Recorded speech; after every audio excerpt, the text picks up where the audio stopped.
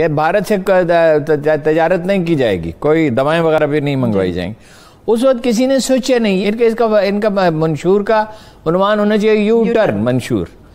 उस वक्त किसी ने सोचा नहीं कि ये जो दवाएँ हैं पता नहीं वज़ीर सेहत क्या कर रहे थे और या मशीर सेहत थे उस वक्त ये थे या वो मेरा ख्याल वो पिछले थे। आमिर उस वक्त उस वक्त अब तो आमिर खयानी ने क्या करना था? उसको तो पता नहीं है बेचारे को वो तो एक यूनियन काउंसिल का दफ्तर नहीं चला सकता।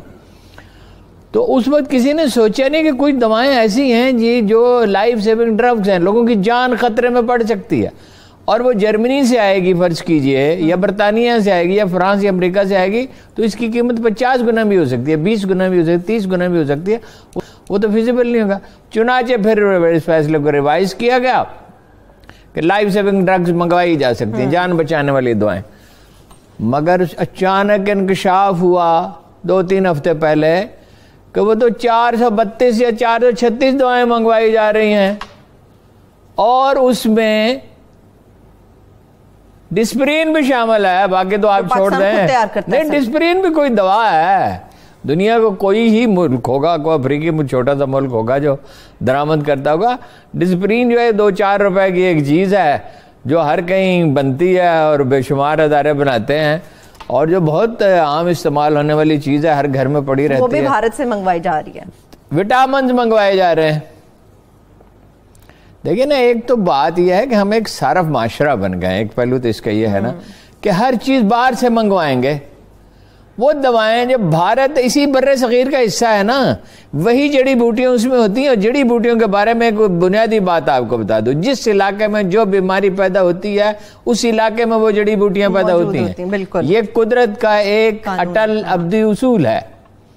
मसलन पहाड़ी इलाके में आप जाते हैं तो आपको कैफियत मैदा आपका डिस्टर्ब होता है तो तेमर नाम की एक बूटी पाई जाती है जिस पहाड़ी इलाके में जाए वहाँ मौजूद होगी।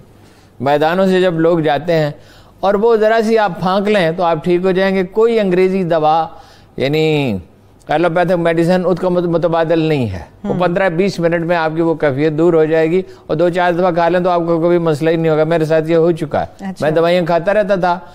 वो एक बड़े मियाँ ने मुझसे कहा कि ये मर्ज या बेवकूफ़ों को होता है या लाहौर वालों को होता है। मैंने कहा मैं बेवकूफ़ भी हूँ लाहौर से आया हूँ। उन्होंने कहा ये ये सारे लाहौरियों की तोहीन हो गई है ये ये गाल है। ये गाल है वो बुज़ुर्ग थे अस्सी नब्बे साल के। तो जो उन्होंने कहा ये खा ले ये पड़ी हुई है बोरी में।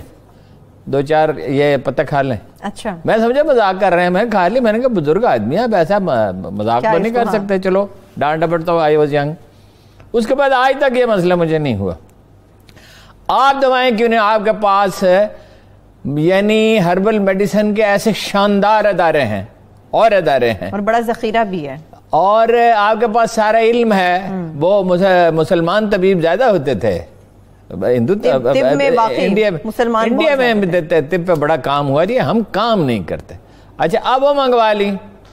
अब जनाब वो वहाँ मसला पैदा हो गया ये वज़ीर सेहत की इजाज़त से हुआ है मुशीर सेहत की और विटामिन कैसे आते रहे और डिस्प्रीन कैसे आती रही? एक मज़ाक है मतलब ये है कि वजारत सेहत में पहले भी ये हुआ अमर कैनी साहब ने भी यही किया उन पर अरबों रुपए का करप्शन का इल्ज़ाम लगा उसकी तहकीकत ही नहीं हुई। अब तो खैर तहकीकात हो रही है ना उसकी तहकीकात ही नहीं हुई। ने कहा ये मेरा बच्चा है हाँ। ये मेरा चहेता बच्चा है इसको पार्टी का सेक्रेटरी जनरल बना दो। तो वो बना दिया। भाई वो क्या अंग्रेज़ी में कहते हैं? Nip the evil in the bud ये शुरू में गुरबक कुश्तन रोज़े अव्वल ये शुरू में करना होता है। एक आध वाक्य नहीं हो रहा।